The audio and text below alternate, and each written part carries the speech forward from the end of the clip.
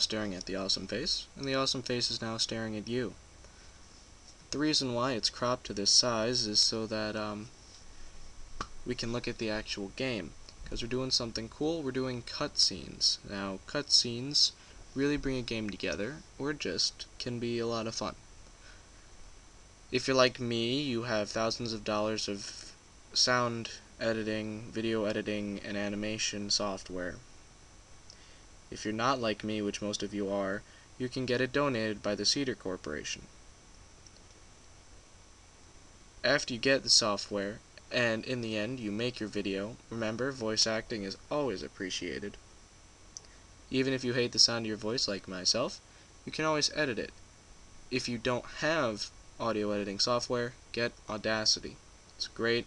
You can record it, you can change the pitch, the speed, the bass. For instance, I was able to record myself, raise the pitch to be high like an alien, and then change the bass I wanted the voices so you could clearly distinguish between the two. This was able, and then I used some 3D software to quick throw something together. Basically, it's a helmet, and there's two of them, and they bob their heads like their mouth is moving. Doesn't make any sense, but it doesn't have to. Because what we're doing today is cutscenes and how we're going to do it. And uh, cutscenes are important. So if we look over here, you can see all of our pretty files. We have the RTS tutorial game file, the Holy Grail. We have this, which is created afterwards, don't touch. And this, which is our video file. For every cutscene, you're going to need a separate video file, and that's fine. And what you do is you're going to open up your game, and we're going to go to an object, an engine, let's say stop, stop works, and then you're going to go over here to the create event, and underneath the main 2 tab and under info we have splash video. So drag that over and then we type in our thing. In this case mine is called alientalk.avi you do have to put the crap I lost it. extension. That's it extension AVI MPG both of those work or MPEG the full four letter one uh, I don't know if .mov works. I don't know. I think uh, WMV Windows Media uh, Video or whatever the Windows one is should work. Then we have uh, loop and don't loop. For cutscenes, you don't want to loop it, and you very rarely ever want to loop it. So we're just going to leave it like that. And uh, I put it in stop because that's right before we start playing our game. So that way it'll go to the menu and then when we play our game, our video will show and then the game will start. So let's actually try that now.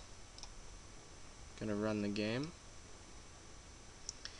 All of it all has to be in the same root file folder, which isn't too difficult, especially if you have an install package. What you can do is quite simply um, make it so that um, what was I going to say? It's all in one folder, and then you have a shortcut to the executable. That way they don't have to go in the folder, and everything's all nice and easy. You can install it to a folder that you create, and uh, then you just make a shortcut on the desktop to your game. So we're going to play, and uh, that's... Alright. I'm going to turn the volume down. This is the video, um, and then as soon as the video is over, you're not going to be able to hear the video, but I will be putting the video at the end of this video. And then you start playing. So it's a little introduction to the game and then you start playing. Uh, this talks about how you need someone needs to save the world and neither of them want to do it because they're lazy. So you should do it and they both look at you. So that's just uh, comic relief right there as you start your nice little adventure. Uh, then you can just start playing.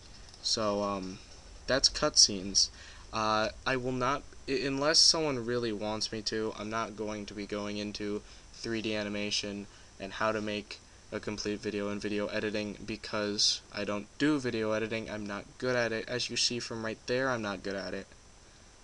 It's a really bad intro. And, um, but it's still there. It's something. That's how you do it in GameMaker. Uh, once again, thanks for watching. Uh, no longer please rate, it's please like. They just have thumbs up and thumbs down. So thumbs up is cool.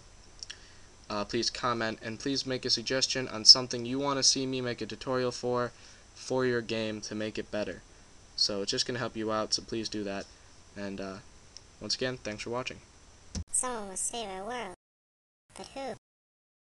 Not me. Jobs for suckers. But then who?